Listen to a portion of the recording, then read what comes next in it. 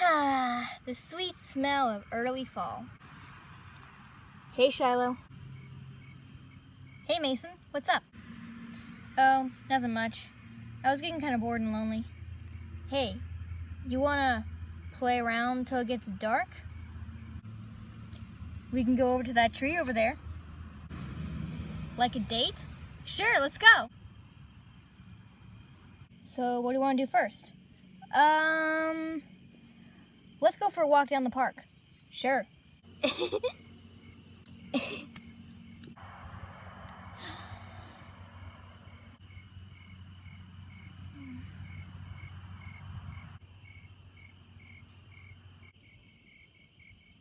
Tag, you're in.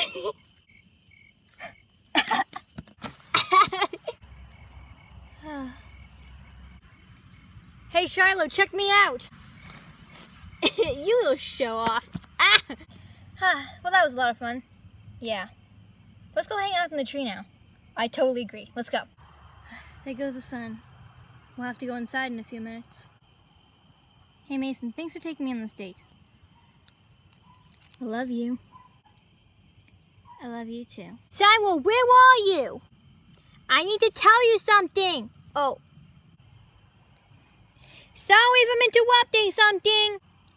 Um, it's okay. You're not interrupting much. Oh, okay. Can I come up? Sure, come on up. Thanks.